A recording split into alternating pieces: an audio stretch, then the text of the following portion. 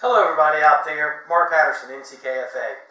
I want to take a moment and review a product and tell you, I give you a fishing tip based on what I learned last year fishing for, honestly, which is probably my favorite fish to catch, false albacore. Now a lot of people say, oh they're easy to catch, you just pull your boat up on them, you can see them on the surface, throw anything at them, they, they bite readily, and that may be true uh, in certain situations.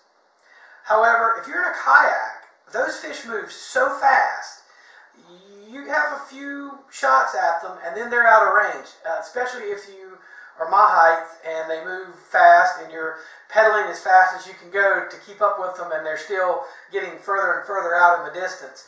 So when you do have the shots at them, you got to make it count.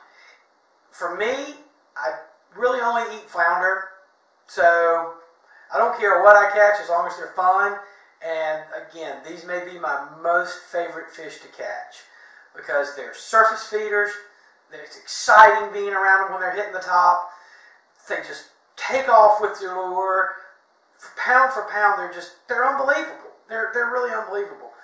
So I tried to tinker around with some things last year, and I came up with something. I come up with something that I think will help my fellow kayak anglers. And here's the deal. Last year, we had an interesting situation at Oak Island in September. The false albacore seemed to be either literally in three feet of water, right on the beaches, pushing glass minnow, or they were in 20 feet of water. So, and they were smaller schools, so it wasn't like you could just paddle up to them, and they were moving fast. So you couldn't just paddle up to them, flip something out there. You had to make those uh, casts count.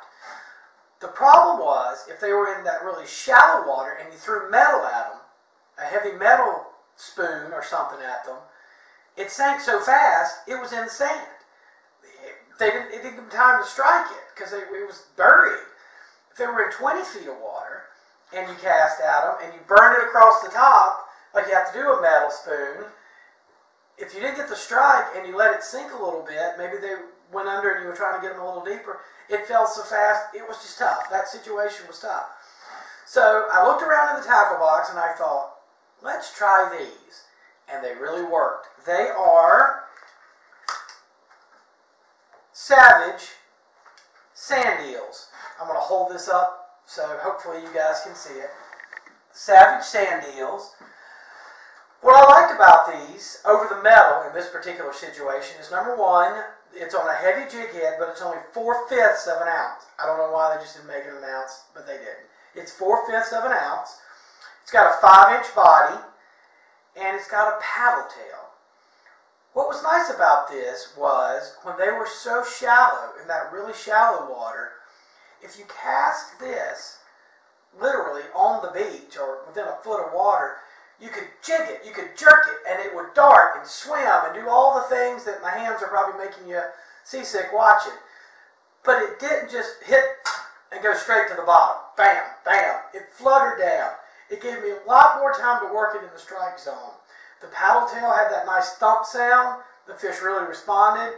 We caught a lot of them. The other good part was when they were in 20 feet of water, same situation. You could cast, and this is a tip, don't cast into the middle of the school. Cast all the way to the other side of the school. That way, you get an extra half of the school to bring your bait through. Also, when you cast to the middle of the school and make three or four turns, if they're moving away from you, the fish are gone.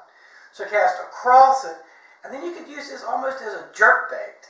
And that darting, jerking pattern, and then that slow fall with the tail, I don't say we hooked up every time, but compared to the guys who were throwing the metal, this was truly a superior bait. Savage sand eels, I would go in this funky skeleton mm, yellowish pattern.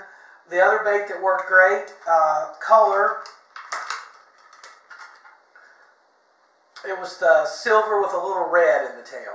I think it was more the silver imitating that glass minnow, and I think this color they were just able to see better. So again, not for eating, just for fun catching. Release them as fast as you can.